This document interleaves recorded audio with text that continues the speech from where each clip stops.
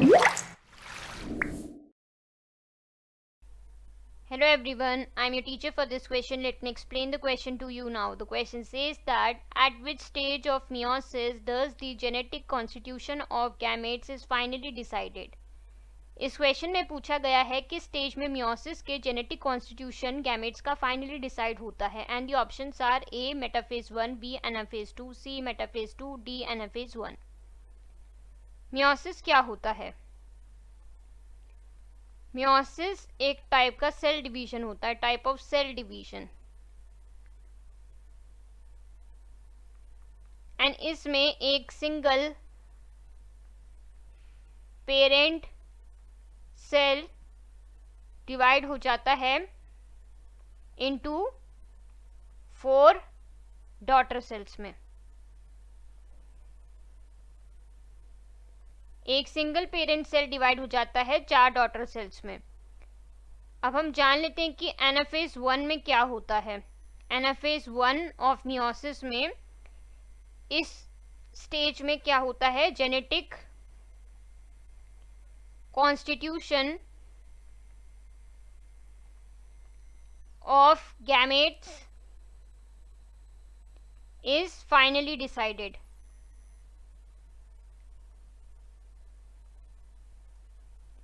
इस स्टेज में जो जेनेटिक कॉन्स्टिट्यूशन बनने वाला होता है means the number of chromosomes are to be added in the gametes वो फाइनली डिसाइड होता है।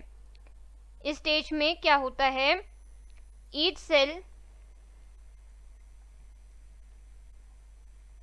receives half the chromosome number from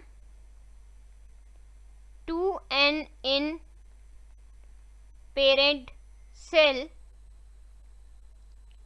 it changes two N in daughter cells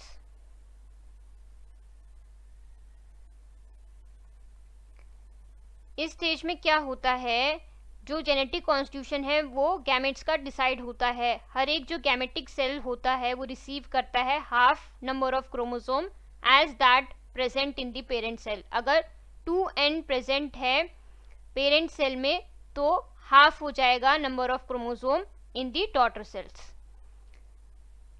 anaphase one में क्या होता है एग्जैक्टली ड्यूरिंग दिस फ़ेज़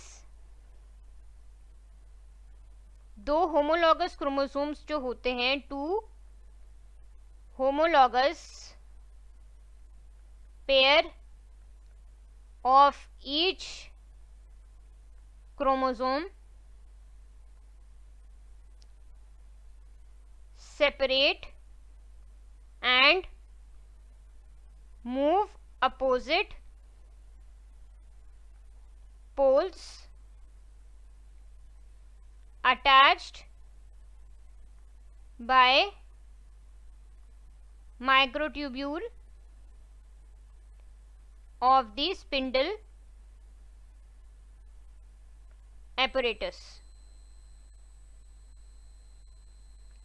क्या होता है इस फेस में? जो दो होमोलॉगस पेयर्स होते हैं ईच क्रोमोसोम के तो वो सेपरेट हो जाते हैं and they move to opposite poles that are attached with the and ये जो क्रोमोसोम है, ये अटैच होते हैं माइक्रोट्यूब्यूल से, जो कि हेल्प करते हैं उनको सेपरेट होने में।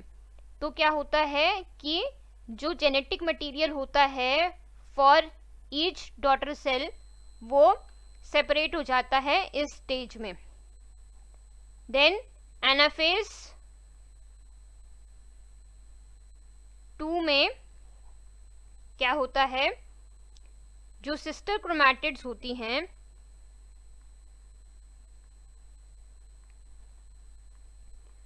of each chromosome separate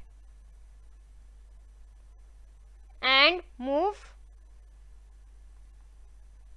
towards opposite poles. जो सिस्टर क्रोमैटिड्स होती हैं ईच क्रोमोसोम की वो सेपरेट हो जाती हैं and they move to opposite poles and अगर हम बात करें तो मेटाफेस वन और मेटाफेस टू में क्या होता है? जो क्रोमोसोम्स या क्रोमैटिड्स होते हैं वो मेयरली अरेंज हो पाते हैं मेटाफेसिक प्लेट पर। सो so, उनका सेपरेशन एंड डिस्ट्रीब्यूशन नहीं हो पा सकता at this stage means genetic material का क्रोमोसोम्स का सेपरेशन उस लेवल पर नहीं हो पाता ताकि वो डिस्ट्रीब्यूट हो सके to the daughter cells during these stages the chromosomes or chromatids merely arrange themselves at the metaphasic plate.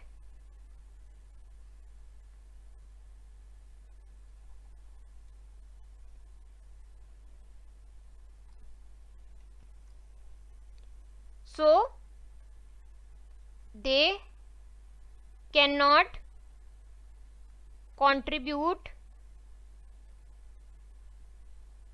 to the genetic constitution, genetic constitution of gametes. As जो जेनेटिक मटेरियल होता है क्रोमैटिड्स या chromosomes होते हैं, वो separate नहीं होते हैं डिस्ट्रीब्यूट होने के लिए to the daughter cells as the chromosomes और chromatids are not distributed or separated for daughter cells.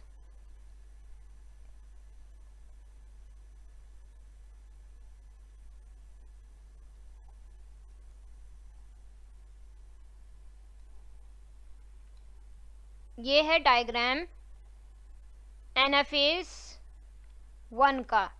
And इसमें हम देख सकते हैं कि जो होमोलॉगस क्रोमोजोम हैं वो सेपरेट हो चुके हैं टूवर्ड्स अपोजिट पोल्स एंड इनमें जेनेटिक मटेरियल का एक्सचेंज हो चुका है डिफरेंट आर्म्स पर।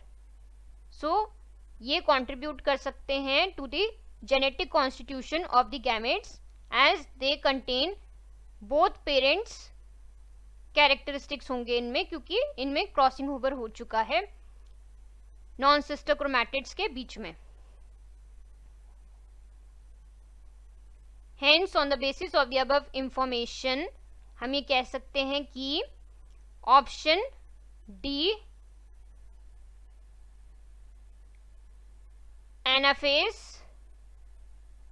one is the correct option I hope you have understood this explanation. Thank you.